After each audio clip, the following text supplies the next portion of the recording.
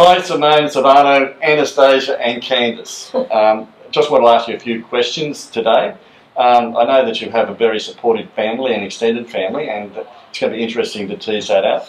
Uh, just for those watching, um, Caleb is our first grade halfback, has been for the last two years, and we want to talk about the aspects of his rugby career. Uh, before we start, though, um, I just wondered, could you tell us a little bit, uh, Simone Silvano, about your family, your four children, and then we could move on from there. Oh, well, we have four children. We have the eldest son, Joe, who lives down in um, Nowra area. Our daughter, Yala, who's in Melbourne, and obviously Caleb here in Sydney. And um, our daughter here, Candice. Um, baby. Our little girl. No, well, look, both our boys played rugby, Oh, okay. School rugby. school rugby, St. Eddie's. Our son played actually first grade rugby league for Queanbeyan Blues United down in Canberra, and he Oh, actually okay. trained with the uh, under 20 Raiders at a short period of time. But then he went into another sport, which he ventured into was um, wakeboarding Won't out of rugby. Yeah, so In Canberra, did they have waves in Canberra? Is that on Lake Burley Griffin? Or? that's down on the Longalay River, mate. not down the Queanbeyan River. Not allowed to use Lake Burley Griffin. oh, sorry. Yeah, so um, but yeah, with rugby, um, yeah, Caleb started well as a junior from third grade, I believe. He played soccer, and then from soccer, he- we um, he started his uh, rugby career in fourth grade when he went to school St. at. St Edmunds College in Canberra, and um, so from St Edmunds from year four to year twelve, and then he uh, he had his ups and downs in, in football at school. Um, But always dedicated. Yep. Always very loyal. He just, he wanted to be an Australian player. Yeah, He um, he uh, played uh, first fifteen in year eleven, and then from year eleven, uh, yeah, played first fifteen year eleven. And in year twelve, he played second fifteen, but but he was the captain of uh, the second fifteen in year twelve. But from year tw- uh, from the sec- yeah, from that year, sorry, like with his rugby career uh, starting off, um, he became the state halfback from second 15, not first 15. That's all right, isn't it? It sounds a little bit like Nick Farr-Jones. He's he started off in soccer, did make the first fifteen, then went on to represent Australia and be captain of Australia. Yeah, so that's how he sort of started all back and had to work his way up. Okay. Um, I guess the other part too is uh, I know you've also got uh, Italian heritage, um, Silvano. Um, what we haven't led into yet is like is that is that Italians are worried about family and things like that. Is that an important part? You think of what you want for your own family and extended family too, like. I believe family is the most important thing you could have. I, I believe family, uh, when you when you're there, uh, when someone needs you, your, your family's there for you. And um, with uh, our family that we have, we try to keep it nice and tight, but even the friends around us are just as important. We've got a, we've got a great friend group that we call our family that support us as we need it. Because we're both from very large families and both families have the same structure where we're very close or we believe in family. As we all get older, it just becomes about your own and supporting when you've got four kids. And that leads into, I guess now, is how you got into fostering. Because uh, how long have you been doing it? And B, how many children have you fostered? Been doing it for 16 years and we've had 45. This is number 45. Um, how did we get into it? When I was young, I always wanted to go to South Africa and work in the orphanages. As like, I always thought that that's where I'd go. And then what happened one day is we found a little boy. He was about five years old, walking along the street. Someone stopped. We asked him where he was going. He said he was leaving home because his parents didn't love him. They didn't even know he'd gone. Put him in the car, and Caleb turned around to him and he looks at him and he goes, What's up, mate? And he goes, Oh, my parents don't love me. And Caleb put his arm around him and said, That's okay. My mum's got enough love for you. And that's just really how it all started. I left the ANZ Bank after 20 years, walked into Docs and just registered as a foster carer. So, what about for you, Silvano? How you how did you find that when Simone said, "Look, I'm going to do this"? Is I that support it 100%. okay? Yeah, which, uh, I, look, I'd, I'd um, yeah, 100%. Because, I like Simone said earlier, we both come from big families. Um, look, I'm an uncle of 40 nephews and nieces and probably 30 great nephews and nieces. So just tells you how Well, I big the thought that'd be a, a big extended. So you haven't got Italian background, or what, what's your? Oh, I don't, I don't know. I've got African. Oh, my, okay. my, my great great grandfather is a Negro. All right. Um, but my grandmother on my mother's side, her name was Bernasconi. So we think there is Italian there somewhere. We really don't No, know. I just, I, I, I just leading up, having you know grown up with Italians and Greeks, having about the family, Yeah. being like with Australians tend to be more single, single, yeah, Yeah. family orientated, yeah, immediate, immediate straight family. But we don't, we don't want to get into that part of it also. So, with the children, how um, how long do they stay with you for? Is that depending on? It depends. When I first started, I was very naive. So we sort of like went into it with our eyes Now closed. Now I don't do long term care. So, what's long term? Long term. Long term is till they're 18 years old. I went. I now am a crisis and a pre-concurrent carer, so I work specifically with newborn babies, um, which is something I love. So, what's the longest period then? I could do anywhere from one day to 12 months, Okay. but normally the average is about six, six months. So, how do you find emotionally coping with that now? Then? It's So- wonderful. Like uh, some of them, you But when you have to give them up, I mean, that's it's it's a grieving period. Always a grieving period, but I wouldn't change it. Luckily, we've got a couple of the parents that we've still maintain relationships with. Which not many. so really do you, There's not keep, many. do you keep contact with any of the children? Yes, one in particular, Aiden. Um, we're very close to his parents. Um, The little one, that little girl. Um, uh, we see Tanielle, another little baby that we had. We keep in touch with her. But there's a lot of them that don't want anything to do with you because it's too close to home You for them. You, you know too much. We know too much. Um, So, So getting back to your own children, I guess you talked about that long-term care part. Is how did they how did they react to sharing us, their parents with other children? Their love. I mean, yeah, like yeah, we can be a little bit selfish because you know. Well, our kids is um, like we. Uh, I'd come home and because I do a fair bit of work away out of town those days when we started in the early state part of the years to fostering with um, Caleb and Job and Yala growing up. Just just watching them giving love and affection to the outsiders that we brought in. that makes them who they are. glad, to- you know, well, that so makes them who they are today. They're kind, considerate. They they've got empathy for for all types of people. But also, it's like having a new baby. If we would have had another baby, it'd be the same thing. They're included in your family unit. Um, and I think even now, as they're older, they've enjoyed it even more. And I, and I, um, I've got to say this too. Like in, in that process, like I, I remember Caleb used to make a few remarks on. He'd say, "Oh, Dad, instead of you buying this or buying that, you should put some of your money towards the third world countries." You know, like, and that's coming from Caleb. at So that, young em- age. that empathy's gone. Yeah. So is that right, Candice? You think? Huh? Pardon? You agree with that? Like, do you like sharing with Yeah. Anastasia? A bit hard, isn't it? Huh? You like having her around? Yeah. Yeah. What are the things that really blow you away about you know, fostering children? What are the highest? You're like, you know, is that just a feeling of great satisfaction or love? I mean, what emotion it does it take you to? You know? I, I believe when you look into a child's eye and you see that spark in their eye, that's that's that's that's really important. and Yeah, I don't know. It's just watching them smile and giggle, and you can see that they've got emotion because a lot of these children don't get don't have emotion because they have no connection to a Yeah. human being if they're left too long. But yeah, watching them thrive. So it's like a tough love for them. Yeah. For them to change. Yeah, Yeah. my word. yep. And you know, like the, the like this little one here's just come in our lives. She's only four days old, but just watching her grow is just like watching your own children grow. Yep. And giving her the love and the bonding, you know. So, what's your philosophy about like disciplining, not disciplining, but yeah, manage the children? Like you have, uh, you know, just all about love, or is it, yeah, with like some of these children have difficult backgrounds and things like that? How do you say, no, I don't expect you to do that? So, or you know, You just have to you have to believe that what you do is in the best interest of the child. So believing in the parents, if they're decent enough, um, that they've got the ability to change.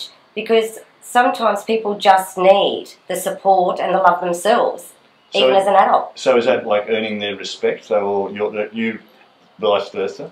Yeah, it is My a word. bit earning their respect. That you know we're grateful to be looking after their child. We hope that they feel the same way. And to trust you. and to trust Well- us. It's a big thing to take Both, from both, someone's both job. ways. Yeah.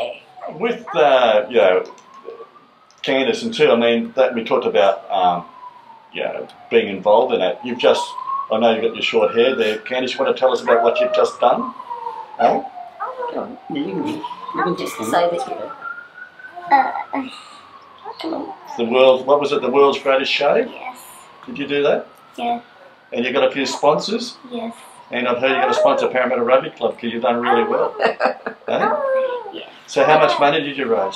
Three thousand. $3,000. Almost. That's very good. Eh? And one of your brothers still owes you money? Do we have to talk about that? Or mum and dad put in for it, you think? Eh? so, did you choose to do that? Did- Yes. Yeah. she did. So, did many of your school do that? You know, and you're in Uh, third just a class. couple. A couple. But no girls. No girl, she was the only girl. She was the only girl. Okay, so did, where did you have it cut at school, or did you do it? Yes, at school. It? Okay, so did you go into the local, make it into the local paper? No, we didn't actually. It wasn't too well organised actually. Mm. wasn't wasn't too political. Like Oh no, no, I'm just, I'm just wondering. You know, uh, you know, I've done a few of those. I've never done myself because I, my hair would never grow back. I, I'm not going to do that. That's, your, your hair's just so lovely. Um, so that was that was that was a, that's a great a great attribute to have too. Yep. So what do you want to do when you get older? You know, I don't know. you know, be a school teacher or a nurse. The other part too. What are, what are, what are the difficult times then? You know, the hard times. There are hard times in that, or there is. Plenty. when the house is a mess and they all walk in after a day's work and think that's where it all ends and football boots are there with all the dirt on them and the work boots. There's lots of difficult. they- We're just like every other family where the kids are in crisis. You know, um, they're not happy for one reason or another, and you have to deal with that. It's just all the normalities. Oh, okay. Well, I think it's normal. Okay, good, good. Okay, I guess the other part too is, you know, like with the background, things like that. Where did you, where did you and Silvano meet? In Queanbeyan? in Struggletown, Australia, mate. That's That's. At the Queanbeyan show. Oh, okay. Yeah. So what's the pickup line for a Queanbeyan show? Nice. Well- There job, was no it- there was no pickup line, mate. It was just that I can tell you. Love I at was first sight. we, we yeah well you can more or less I, I seen Simone in the distance and then she just disappeared. Then I didn't see her. And Then I seen her twelve months later. I met her in the in the In the Queanbeyan in the Park. town park. A mate of Friend mine introduced me introduced to us. Simone. Okay. And um, yeah, and then oh, no, that's a long time ago. But um, then we just sort of become friendly, and I think that those days I done her. Um, I was asked to do her uh, debutante ball or whatever. Oh, okay. Yeah, so she's only fifteen at the time. So Yeah, we were pretty young when we started dating. That's all right. So, soulmates? I don't know. I don't know what soulmates are. I just think So the other part too is you, you, you when you first drove a HD Holden. yes, I cannot believe you drove a HD Holden. I had a HD hole and paid five hundred dollars for it, mate. Actually, the wheels we put on it were worth more than the car. Okay, so from there it just blossomed. Yeah. Yes, yeah. uh, which is great. So getting back to, to, to Caleb, I said, you know, what he's achieved and things like that too before. So he, he played state and then he's offered a, a, a chance to go overseas and play football. Yep. Back in 2008, after school rugby and, and, and representative football, we, he, we went over to uh, Italy and um, we went over for a holiday, the same process. And um, he um, had a trial run there in Italy with a club called Mogliano, Veneto Mogliano, and it's just up the road from Treviso, you know. And um, he, uh, they were happy with the way he performed at, at, at that level. And then um, he was offered a um, an opportunity to stay there and play under 19s. Um, but uh, Caleb thought the concrete, uh, the thought that the rugby was um, a bit slow. Bit basic Yes, and uh, he wouldn't have gone forward in his footy. in his career and things like Yeah. that. So when did he start playing for Vi- Vikings? Is- Oh, look, he played for the Vikings. Oh, gee, he played for Queanbeyan Whites but only Then for a year, I think. for, didn't for a year, and under the so Glenn when did Glenn Christine. Christini come into that? Glenn Christini, yeah, and Caleb. Caleb was playing for the Queanbeyan Whites uh, for for a year, I believe. Um, played played fourth grade, Fourth grade. Straight out of school. Then they uh, Glenn Christini would bench him straight to first grade from fourth grade, When you went over to Vikings. and that for Queanbeyan Whites. Oh, okay. And then He um, played a few games in second grade for the Whites, but then he went to Vikings and played uh, Colts, captain the Colts, captain the Colts to the grand final. Um, yeah, like uh, So they won the Vikings won the grand final then. yep, Mhm. yeah. So what what against Queen Whites. oh, Queen Glasgow? Who where was Glenn coaching then? Is that Glenn, Vikings. Glenn, Glenn, Glenn was went to to Vikings, and he asked a couple of players to go across to, to Vikings, and then like when Glenn come down here through to Parramatta, he asked a couple of guys to come through to Parramatta. Uh, he like he so? did. What did you think of that? I mean, is it Look, we uh, believed in Caleb, and so whatever made him happy, It was we're hard. happy. Oh, it would be hard. I mean, you're talking, so you're talking about a first division club that was losing. You're not talking about a first division But club. no, not just for that, just having him move away. that. That was the big thing. I didn't care that he was, Yeah, no, as long as he's happy in his Sure. football, because for him that's the only thing. So how many it. how many times have you done the track from Queanbeyan to, to, to Parramatta and all the grounds now? Have you worked that out over the last couple of years? I look, I, I know my credit card got a few whacks in them through the motels. So would you come down every second weekend? Like one time you come down nearly every. Now look, We we come nearly we come every we come there weekend. every weekend, even if he was injured or not playing, we still come and support. We, we sort of like backed off a bit though when he was injured because we didn't, it just was unnecessary travelling. Or if some family members at home were a bit unwell, you know, like things like that. But Yeah. yeah, we've always come and most of the time, play rugby or So what? Having been here now a couple of years, so what's your feeling about like Parramatta rugby? Is there a, a good? it's a warm club. I reckon it's fantastic. It's really warm. I reckon the culture you got here, and, and, and you got look, you got Beautiful young the men. Islanders, you got Yep. the New Zealanders, you got the, the Fijians, you know, you got a few uh, European players in your club. I reckon that's fantastic and important, you know, because they bond. Everybody's bonding, and and the people that support this club have been very they've been very welcoming to us from the day that we came in Well, that's good. and That's it's just Well, built good. on that's I right, think it makes that- you that's feel- part of this part is to, to, to make certain that culture makes you feel starts. And I know Gerard wants to keep, yeah, Yeah. coach wants to keep that mm. going too. yes So what's the difference, as Caleb sort of mentioned, the difference between Glenn and Gerard or anything like that, or is he just, yeah, just kept on? Caleb keeps very much to himself Caleb doesn't He tell doesn't- anybody anything Caleb doesn't tell us anything on that sort of side of things, like, we have to ask He- Belle any questions yeah, and she doesn't tell us much either. I Yeah. find out off Jan what's going on with the club Mm. But with also with Caleb's private also with Caleb's rugby, like we had we have some good family rugby connections too in the family, like the the Fiangas and and um, oh you know, Bella Matty Henjack and guys like that. So Caleb's always looked up to them people. in his football. So what, what would, what's his goal for this year then, do you think?